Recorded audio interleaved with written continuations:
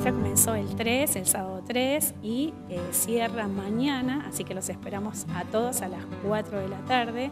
Es el gran cierre donde recorremos la muestra y bueno, hay algunas sorpresas. Nos viene a acompañar Iván Luna, eh, Lucero, un cantante eh, de música sureña y algunas cosas que nacen espontáneas de la gente y la verdad que muy felices y orgullosos de que bueno, hayan podido compartir y acompañar. Sabemos todas las actividades que tienen el intendente y la secretaria, pero bueno, siempre es bueno porque bueno, la comunidad, estas, estas muestras se hacen con convocatoria a los vecinos.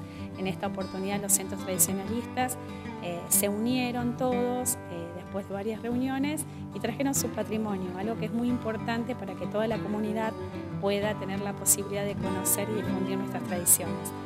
La primera muestra se hizo en el 2015, esta, bueno, ampliamos el desafío.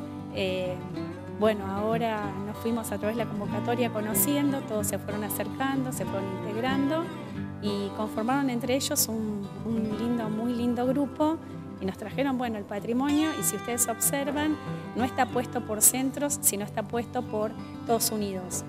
Eh, todos tenían un punto en común que era defender las tradiciones, los valores y trabajamos sobre ese punto en común.